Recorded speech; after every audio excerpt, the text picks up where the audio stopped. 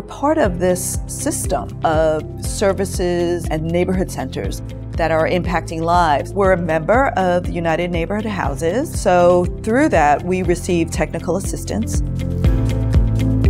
I wanted to learn how to eat foods that would make me feel better because I've had problems with my knees and with arthritis. Everything that I learned, I love sharing it with other people. And the people be so excited when I tell them about this program they say I want to come. It's almost like they're activating this other sense of creativity and empowerment that they either had released or didn't even recognize they had. Something that I find really exciting about the Food Access Program is the initiative that a lot of the community members take in improving it and seeing where there are gaps around how people are being served.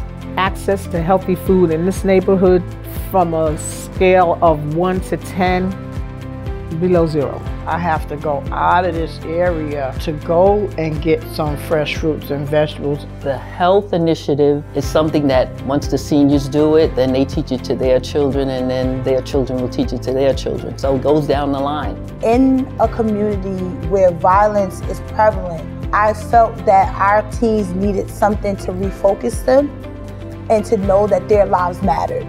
The cooking cafe has impacted my life because I'm making more healthy life choices, and if I really like something that you cooked, then I would like go home and try to do it myself.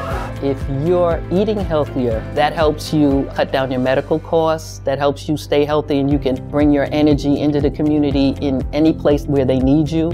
There is fresh produce right here in your neighborhood. The more that participate, the more that there can be shared. Consistency is the most important thing for anything. If you want to get the community to develop healthy eating patterns consistently and make life-changing decisions. Just to walk and look and see what can be done in this community to benefit everybody in here. All you gotta do is come.